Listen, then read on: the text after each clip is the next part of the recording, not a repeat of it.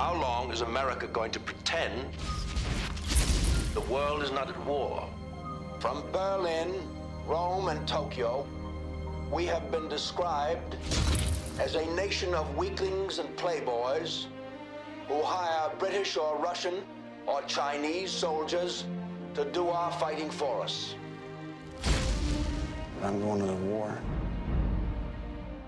You just make sure and come back for the both of us, all right?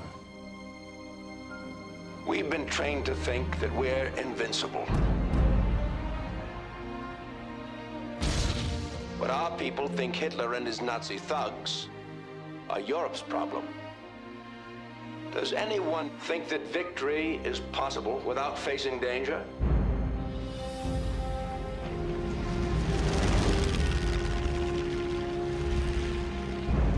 Warning of Japanese aggressive movement.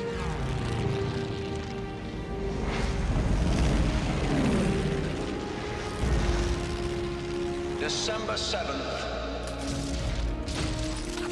1941. a date which will live in infamy.